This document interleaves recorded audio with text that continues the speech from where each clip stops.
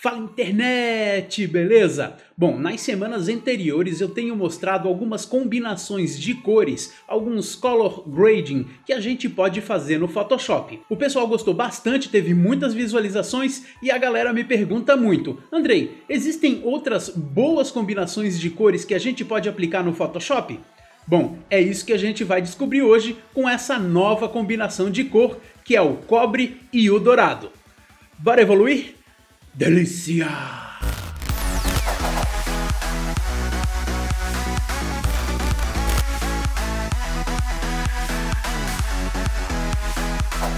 Olá, eu sou o Andrei Lane e bem-vindos ao Back to Basics. E se esse vídeo ajudar você de alguma maneira, por favor, acesse www.apoia.se barra backtobasics e faça a sua contribuição.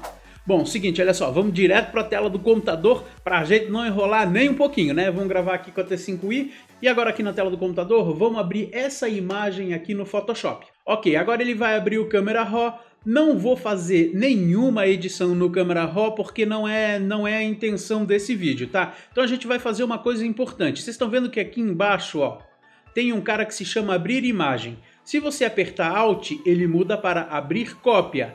Se você apertar Shift, ele muda para abrir objeto. E aí nós temos o RAW aberto diretamente como um objeto inteligente dentro do Photoshop. E isso é extremamente importante para a gente poder fazer as edições que não são destrutivas. Ok? Agora que nós já temos o objeto inteligente, nós vamos fazer o seguinte, ó, vamos vir aqui embaixo aqui, ó, e vamos criar uma nova camada de cor seletiva. Primeiro nós vamos aplicar a cor cobre. Vamos vir aqui na, na aba de propriedades e primeiro nós vamos nos amarelos. Seguinte, no amarelo nós vamos fazer o seguinte, ó, menos 100 no ciano, magenta 0 e amarelo mais hum, 50. Ok. Agora nós vamos para os verdes. Ciano, menos 100, magenta mais 100 e amarelo mais 100. E vamos deixar marcado aqui embaixo a cor absoluta.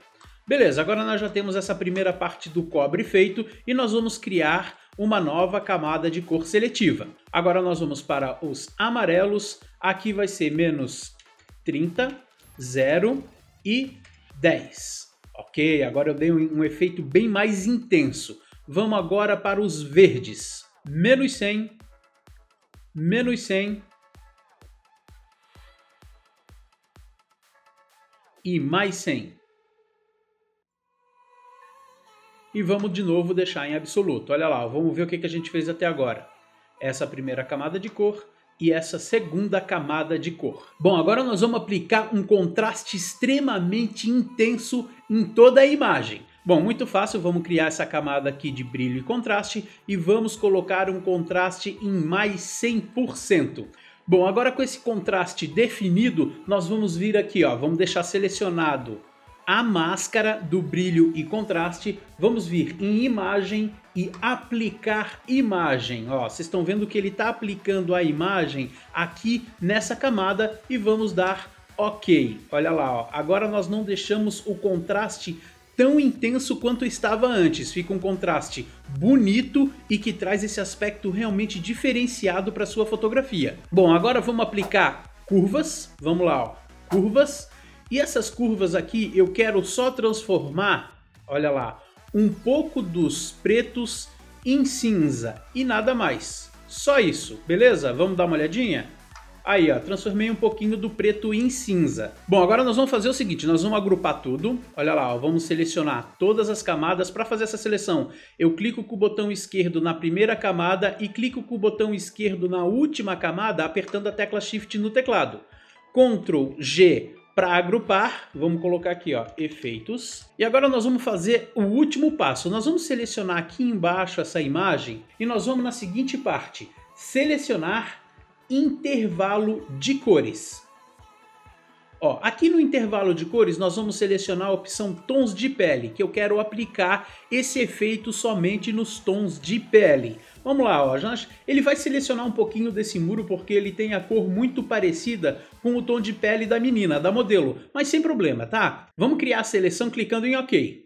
Olha lá, ó, o computador vai fazer só a seleção e vai criar essa máscara. Você vai selecionar a pasta, vai criar a máscara. Vocês estão vendo que agora o efeito ele foi aplicado pura e simplesmente na, nos tons de pele. Mas eu não quero isso, eu quero que seja ao contrário. Então, nós vamos selecionar de novo a máscara, Ctrl A e Ctrl I para inverter essa seleção. Bom, vocês estão vendo que agora o efeito continua aplicado ao fundo da imagem e fez esse efeito estranho no rosto, dando esses tons de cobre e dourado. Bom, o que, que a gente precisa fazer? Por último, a gente vai dar um fade. Vamos lá.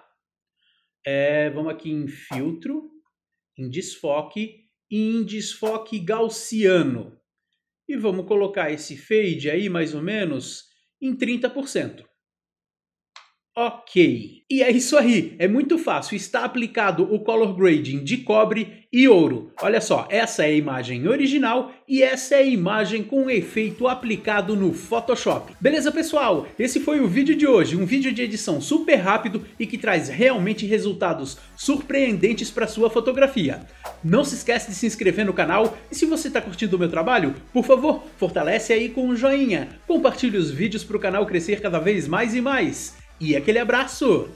Delícia!